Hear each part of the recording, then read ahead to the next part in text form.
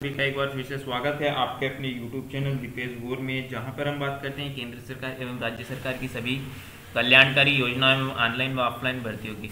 दोस्तों, मैं आज आपको बताने वाला हूँ, जैसे कि मैंने आपको कुछ दिन पहले एक वीडियो अपलोड किया था कंप्यूटर स्ट्रक्चर की भर्ती के बारे में तो फिर से निकल चुकी है। तो यहाँ पर आज हम बात करने वाले हैं कंप्यूटर स्ट्रक्चर की भर्ती के बारे तो यहाँ पर आप देख सकते हैं, ये वीडियो अगर आपने अभी तक नहीं देखा तो इसे जाकर देख लीजिए और अपना स्कोर कार्ड किस प्रकार से बन बना है, उसका भी हमने वीडियो सब प्रोवाइड करेगा, करा के रखे। हैं वीडियो आपको सभी मिलेंगी, यहाँ पर अब बस आपको देखते जाना है।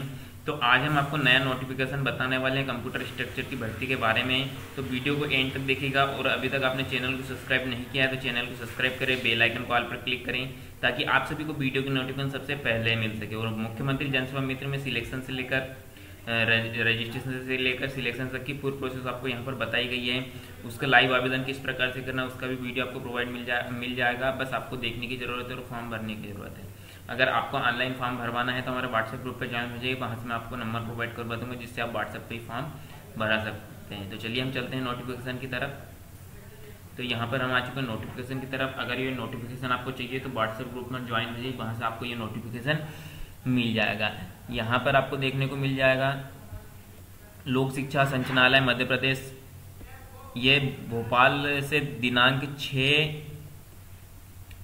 छः सात दो हज़ार तेईस को यहाँ पर नोटिफिकेशन आउट हो चुका था।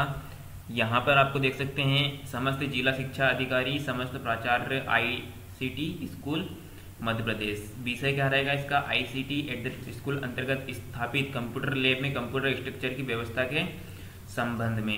उपरोक्त विषय अंतरागत संदर्भित पत्र द्वारा समग्र शिक्षा अभियान अंतर्गत संचालित आईटी स्कूल परियोजना अंतर्गत विश्वविद्यालय में स्थापित कंप्यूटर लैब में एक कंप्यूटर स्ट्रक्चर रखे जाने के निर्देश जारी किए हैं, किए गए हैं। उन निर्देशों के अनुक्रम में ज़िले द्वारा चाहे गए मार्गदर्शन अनुसार निम्नलिखित निर्देशों का पालन किया जाए। यहाँ पर मध्य प्रदेश में टोटल पच्चीस स्कूलों में कंप्यूटर लैब की स्थापना हो चुकी है और उनमें कंप्यूटर स्ट्रक्चर एक टीचर रखना है उनको, ठीक है?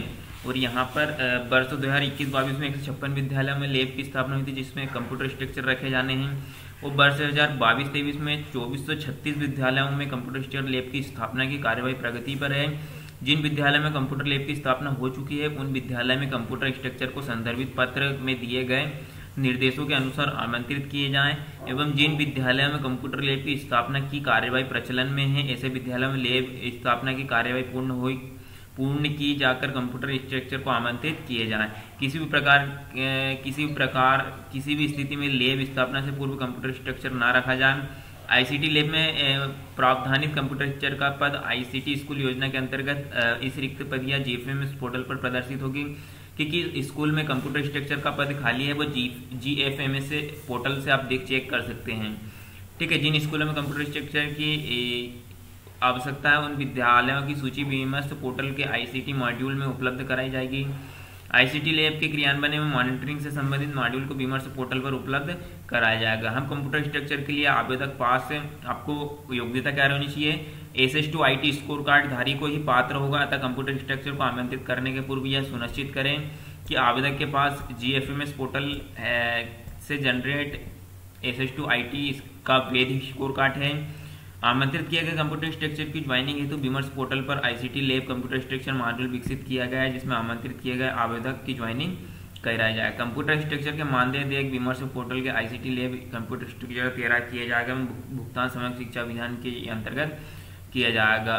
तो यहाँ पर दोस्तों ये आपको नोटिफिकेशन देखने को मिल रहा है। अगर आपको भी, आपके पास भी G F M S portal का S S two I T bed score card है तो यहाँ पर आप आमंत्रित कर सकते हैं। और आप देख सकते हैं जीएफएम में इस पोर्टल से कि किस, कोई स्कूल में कंप्यूटर स्ट्रक्चर का पद खाली है, वहाँ से जाकर आप अप्लाई कर सकते हैं। तो दोस्तों, बहुत ही अच्छी वैकेंसी है। तो इसमें आप ज़रूर अप्लाई कीजिए। अगर आपको कोई प्रॉब्लम आ रही है तो हमसे कांटेक्ट कर लीजिए। हम आपकी पूरी सहायता करेंगे। नोटिफिकेशन आपको व्हाट्सएप ग्रुप पर मिल जाएगा। वीडियो के डिस्क्रिप्शन में लिंक दी गई है। अभी तक आपने चैनल को सब्सक्राइब नहीं किया तो दोस्तों, ऐसी इन्फॉर्मेटिव वीडियो देखने के लिए चैनल को सबसे पहले सब्सक्राइब कर ले। बेल आइकन को ऑल पर क्लिक करें, ताकि आप सभी को वीडियो की नोटिफिकेशन सबसे पहले मिल सके। धन्यवाद।